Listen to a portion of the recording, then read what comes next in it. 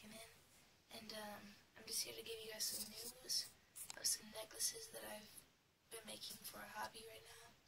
But I'm going to be doing a giveaway, maybe, if I can, if I can make enough. I'll try to send out maybe 10 to 20 just to kick it off for now. And then if it gets better, if I can make more, I'll probably start to sell them instead, like to people near me. Not like to you guys, but I'll sell them and then however much money I make from it, I'll just keep doing giveaways online and then, yeah, whatever works. And um, I'll do a tutorial video on how to make them for people who just want their own and don't want to go through the hassle of giveaways or buying them um, already made. And um, that way it's like, also have like a personal touch, like you can make your own anytime and add whatever you, you want to it. I'm just going to give you guys the basics. And for now I'm just going to show you like a sneak peek of them and how it works. And I'm really tired. It's kind of late right now, but I'm going to do a quick video. So we're going to get in depth. Okay. So what we got was crafting wire and some jewelry chain and some acorns and hot glue and that's that's really all I used. That's it. Nothing else. And um yeah, so I make gold ones and silver silver ones with black chains.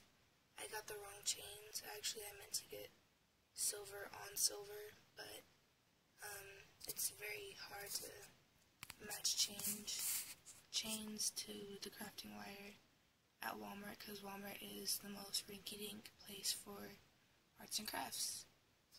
And it's seriously the worst selection, in my opinion. I'm very picky.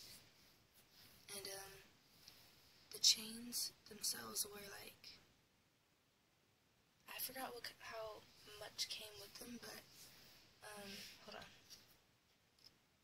Okay, so it was gold chain card. I don't know that's um. I don't know. Crap, you guys can see this. Um.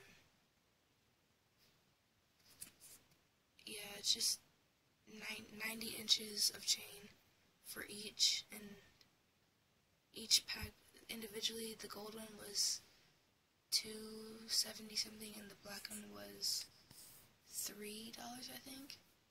And then I got the crafting wire for oy, 6 feet or 1.8 meters, and this is the gold one. So, oh my god, I don't know how much that was, but it was under $3, I'm sure.